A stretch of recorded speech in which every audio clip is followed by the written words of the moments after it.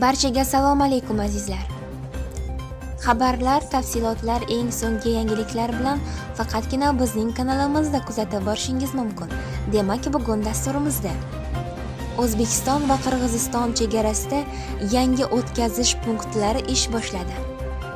Tuman hokimi o'rinbosarini yoqib yuborgan yakkabog'lik tadbirkor qamoqdan ozod qilindi. U endi sudga o'z uyidan qatnaydi. O'zbekiston va qirg'iziston chegarasida yangi o'tkazish punktlari ish boshladi. O'zbekiston respublikasi davlat xavfsizlik xizmati chegara qo'shinlari vakilining ma'lum qilishicha joriy yilning 30 avgust kuni o'zbekiston respublikasi va qirg'iziston respublikasi o'rtasida ilgari erishilgan kelishuvlarga muvofiq davlat chegarasi orqali to'rtta yangi nazorat o'tkazish punkti ochildi.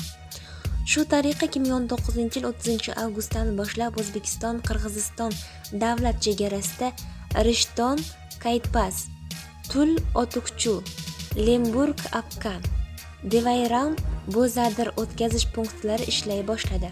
Bundan tashqari soat 7 dan 18 gacha ishlagan o'zbekiston qizil kiya o'tkazish punktlarida vaqt cheklovlari qayta ko'rib chiqildi. Endi ular soat 6 dan 20 gacha ishlaydi. Shuni ta'kidlash kerakki ushbu nazorat o'tkazish punktlarini ochish to'g'risidagi kelishuvga joriy yilning 23 avgustida ikki davlat chegara idoralari rahbarlarining uchrashuvi natijasida erishilgan edi.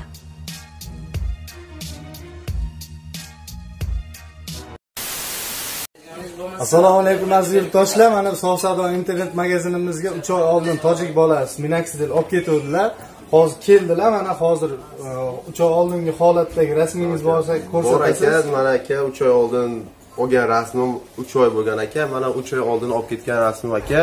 Shu yerdan uch oy oldin dori olib ketdim aka. Mana uch oylik rezultati aka. Yana oyonida bundan ko'proq qo'yishni xohlayman. Masalan kelib olib ketishni ham sizlarga tavsiya qilaman. Yaxshi garantiya bilan ishoninglar assalomu alaykum бародарони тоҷик мо шуморо барои миноксидил мегӯям инам се моҳ пеш барои ришон дору гирифта будам ва шумо метонед омада ҳаминҷа бигирен интернети софсавдо точка ру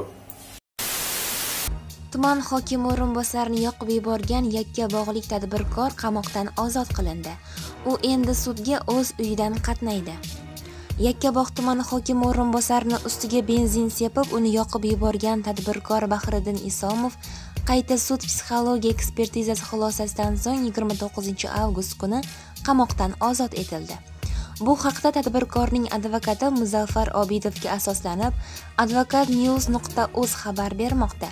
Tadbirkor sudga o'z uyidan qatnaydi. Advokatning so'zlariga ko'ra qarshi universiteti psixologiya fakulteti olimlaridan iborat ekspertlar guruhi 24 avgust kuni bahriddin isomov to'g'risida o'sha xatti harakatni sodir etgan vaqtida affekt holatida bo'lgan deb xulosa bergan. Ushbu xulosa asosida yakkabog' tumani prokurori sanksiyasi bilan ayblov jinoyat kodeksining 97 moddasidan 98 moddaga qayta malakalanib ayblov yangilashgani munosabati bilan qamoqqa olish ehtiyot chorasi bekor qilingan. Advokatning aytishicha bahriddin isomov shu bilan uchinchi marta ruhiy ekspertiza qilingan. Avvalroq jinoiy ish qo'zg'atilgach u sud psixiatriya ekspertizasidan o'tkazish uchun toshkentga jo'natilgani haqida xabar qilingan edi. Respublika sud ekspertiza markazida o'tkazilgan sud psixiatriya tekshiruvida protsessual qonunchilikka asosan uning umumiy ruhiy ahvolini o'rganilib ijobiy xulosa berilgan. Shundan so'ng ayblanuvchining jinoiy qilmishni sodir etish chog'ida affekt holatida bo'lgan bo'lmaganini aniqlashtirish maqsadida sud psixologik ekspertiza tayinlangan.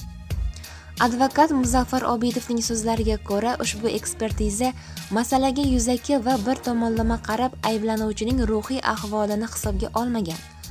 Psixolog mutaxassislar himoyamdagi shaxs bilan hatto biror marta suhbatlashmagan ham. Uning ayblanishiga sabab bo'lgan xatti harakatning sodir etilishidagi vaziyat motivlar puxta o'rganilmagan. Shunchaki tergov materiallari nari beri varaqlanib bu odam o'z xatti harakatlariga javob bera oladi degan mazmunda xulosa tayyorlashgan deydi advokat. Bundan xabar topgan advokat viloyat prokuroriga iltimosnoma yozib himoyasi ostidagi shaxsga qayta ekspertiza tayinlanishiga erishgan.